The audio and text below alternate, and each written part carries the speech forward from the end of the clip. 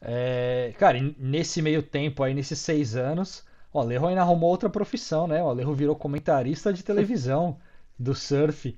Cara, como, como que tem sido essa experiência e, e, e como que funciona para conciliar treino? É, a gente sabe que é só durante as etapas, mas, mas mesmo assim, por exemplo, agora tá rolando etapa, tá, tá rolando chopo. É, fala um pouco dessa experiência e como que você faz para conseguir conciliar quando tá rolando etapa, quando você tem que estar tá lá, da onde que você faz. Uhum. Não, foi, cara, foi muito legal o convite, né? Ele veio logo a, quando a Sport TV fechou com, com a WSL eles me chamaram, né? Porque eu tinha já feito os comentários nas Olimpíadas e tinha sido super legal. E quando eles entraram em, em contato comigo, né? Como eu já tinha criado uma afinidade com eles pelas Olimpíadas, tudo, eu, eu queria participar. Só que eu falei, ó, cara, o meu objetivo principal são meus campeonatos, essa é a minha carreira e eu quero voltar pro WT. Então, se algum campeonato for me atrapalhar, comentar, se estiver chegando perto da janela de algum campeonato que eu vou competir, eu não vou poder fazer. E, cara, eles super entenderam isso, foram super abertos a isso. Tanto é que nessa etapa de ter a Rupo, eu só começo a transmissão às seis da tarde, então eles deixam eu surfar de manhã, fazer minha preparação física à tarde, eu entro só no, no final do dia.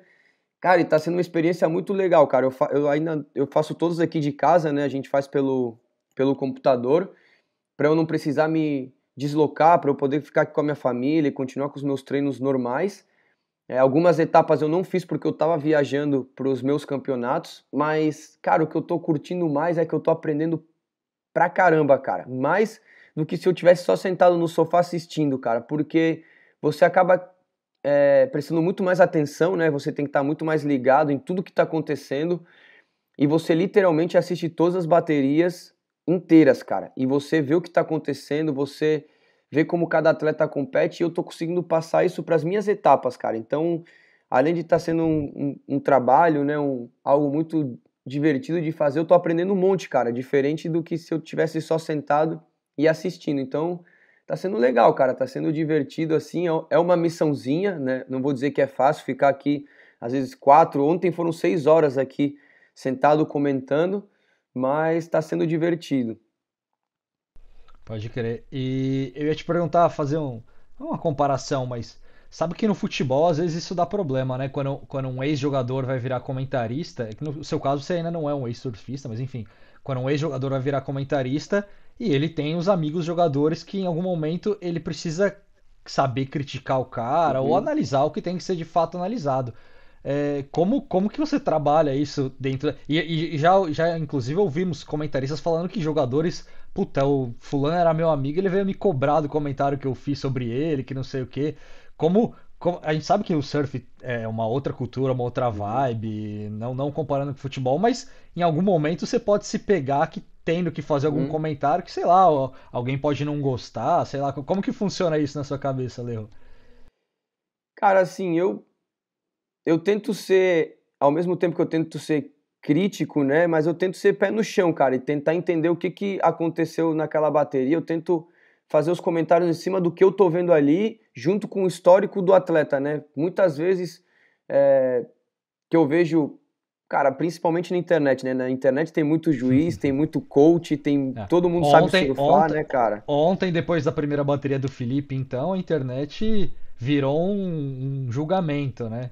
É, cara, então, por exemplo, essa bateria do Felipe, cara, para mim ele não se encontrou na bateria. Pô, a galera começa a falar, pô, o cara tava com medo, o cara não sei o quê. Cara, o cara não tava com medo, ele simplesmente não se encontrou. Acontece, acontece ele se posicionou num lugar errado do mar. Chopo é uma onda difícil pra caramba, cara. É assustadora, é difícil, mas não tava gigante o mar para dizer, pô, o cara tava com medo com as ondas que a gente já viu do Felipe, em Chopo mesmo.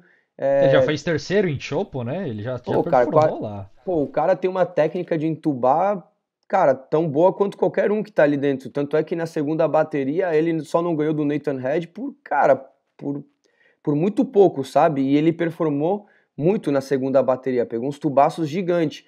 Só que eu vejo que a galera se apega muito àquele momento sem pensar no, na, na, na visão geral e no que o cara já fez, né? A galera é muito imediatista e, e do momento. Então, quando eu tô fazendo os meus comentários, é, apesar de também eu conhecer muito, né, cara, cada um dos atletas que tá ali dentro, ter viajado, eu sei é, dos pontos fortes e fracos de cada um, eu tento.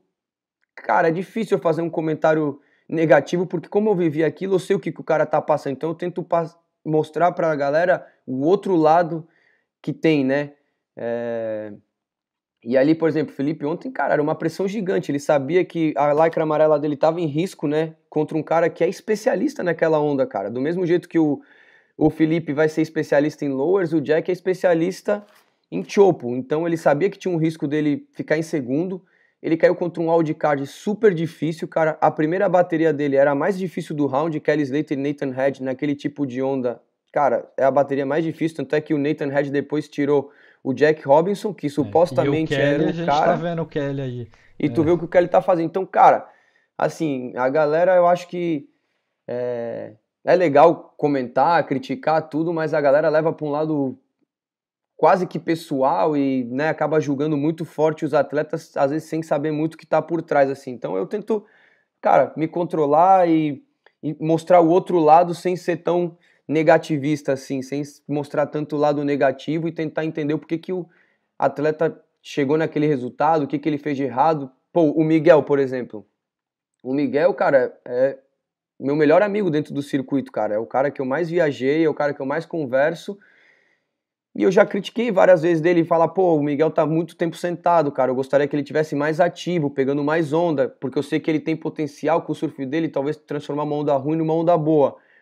Então, esse tipo de comentário que eu faço. Então, é... ontem mesmo, na bateria contra o Net Young, ele ficou bastante tempo esperando, falar, pô, cara, queria que o Miguel desse uma reagida, pegasse mais onda até para se soltar.